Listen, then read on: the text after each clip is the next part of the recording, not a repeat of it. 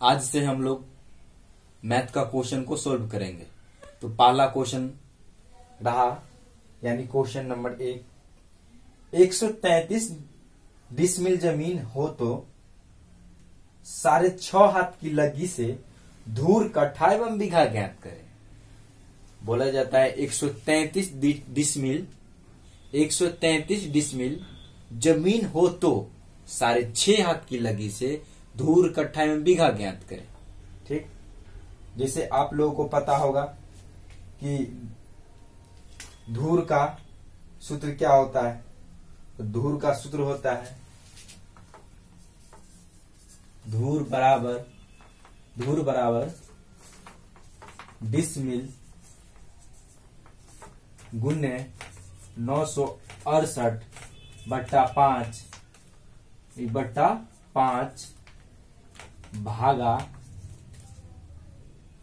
लगी square okay? और हमको क्या बताया गया इसमें? कि इसमें जो है डिसमिल का जो मान है 133 है, और लगी का जो मान है, साढ़े छह हाथ है।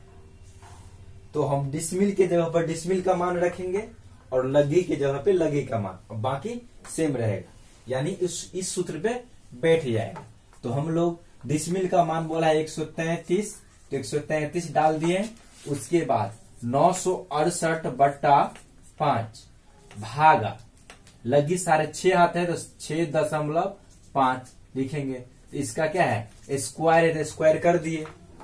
उसके बाद एक सौ तैतीस गुने नौ सौ अड़सठ बट्टा पाँच तो भागा। इसको लिख सकते हैं हम लोग। जब दशमलव हटाएँगे तो एक पे ज़ीरो आ जाएगा तो दशमलव हटा देंगे तो एक पे ज़ीरो आ जाएगा। इसका स्क्वायर है तो स्क्वायर हम लोग लगा दिए। फिर इसको एक सौ तैतीस गुने नौ सौ अड़सठ बट्टा पाँच भागा। जब इसको काटेंगे पाँच से तो पाँच गुना दस आप पाँच को तेरह बार पढ़ेंगे तो एक सौ मतलब पैंसठ आ जाएगा। यानी तेरह पंचे पैंसठ। तो इसको लिख सकते हैं हम लोग। तेरह बट्टा दो। ठीक? चलो। एक सौ तैतीस गुने नौ सौ अड़सठ बट्टा पाँच बट्टा पाँच, ये मार्कर का इंक खत्म हो गया। तो एक सौ तैतीस गुने नौ सौ अड़सठ तो भाग है इसको क्या करेंगे? चलिए, भाग है तो भाग में भी रहने देंगे। तो इसका स्क्वायर हो जाएगा एक छ नौ, यानी तेरह का स्क्वायर एक सौ उनहत्तर और दो का चार। अब इसको एक सौ तैतीस गुने नौ सौ अड़सठ बट्टा पाँच, भागा है तो गुना में चिन्ह गुना में चेंज कर देंगे, भागा को गुना में जब चेंज करते हैं तो ये क्या होता है? पलट जाता है। सामने वाला, इसके सामने वाला क्या होता है? ये वाला पलट जाएगा तो चार ऊपर चला जाएगा और एक छ नौ नीचे चला जाएगा, यानी एक सौ उनहत्तर अब इसको हम लोग गुना करेंगे। जब इसको जब इसको इससे गुना करेंगे और इसको इससे गुना करेंगे, यानी इसको सॉल्व करेंगे तो हम लोग को आता है गुना करने पे।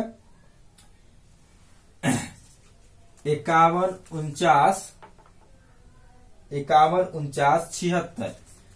इक्यावन, उनचास, छिहत्तर, भागा। यानी इसको इससे गुना करेंगे तो आ जाएगा 845 845 तो ये क्या निकला इतना? अभी दूर में चल रहा है।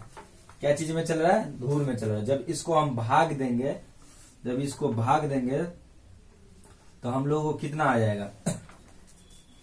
तो भाग देंगे तो आएगा छ सौ नौ दशमलव छ सौ नौ दशमलव चार तीन। ये धूल में आया।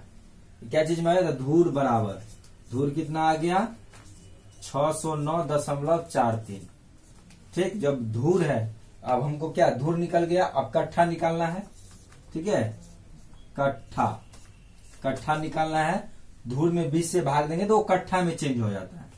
तो छ सौ नौ दशमलव चार तीन भागा बीस। तो ये कितना आ जाएगा? कट्ठा।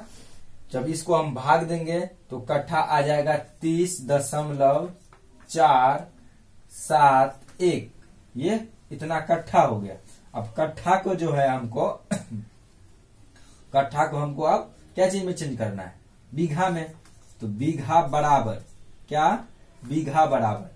तो बीघा निकालने के लिए वो कट्ठा में बीस से भाग देना पड़ेगा। तो भाग दे देंगे तो तीस दशमलव चार सात एक कट्ठा था, जब बीस से भाग देंगे तो ये आ जाएगा कितना? बीघा में चेंज हो जाएगा। जब बीस से भाग देंगे कट्ठा में तो बीघा में चेंज हो जाएगा। तो बीघा हो जाएगा एक दशमलव एक पाँच दो तीन।